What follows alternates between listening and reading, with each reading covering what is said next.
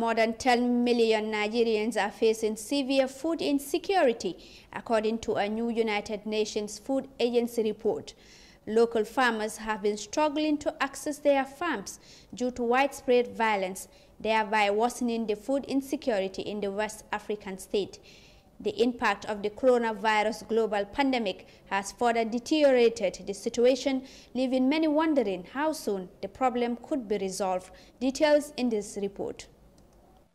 Mohammed Ibrahim's yam trade is gradually thinning out. This has been the most difficult time for the business in the 34 years that he's been running it. The 55-year-old gets his produce from farms in the northern states and sells them in Abuja, Nigeria's capital.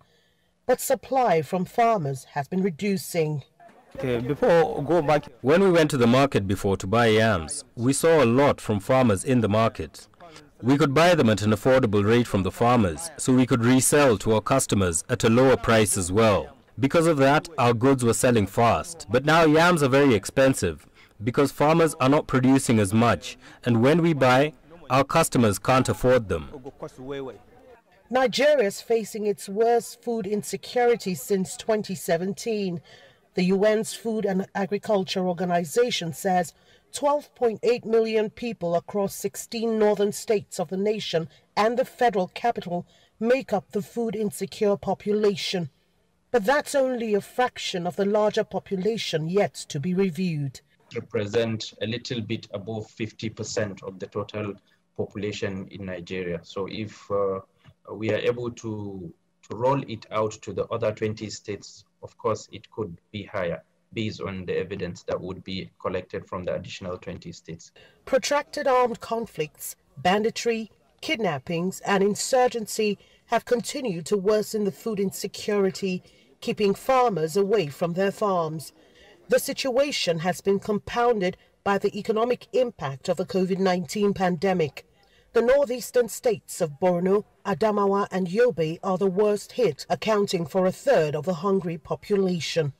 Importantly, there would therefore be need for, let's say, actionable planning and policy formulation to address the drivers of acute food and nutrition insecurity. I think there would be the need of government and humanitarian agencies to intensify and sustain uh, life-saving support and livelihood support to, to affected populations, particularly those that are in phase three and phase four of the analysis. Food security indicators like changes in consumption and the scale of the hunger problem were used in the FAO analysis.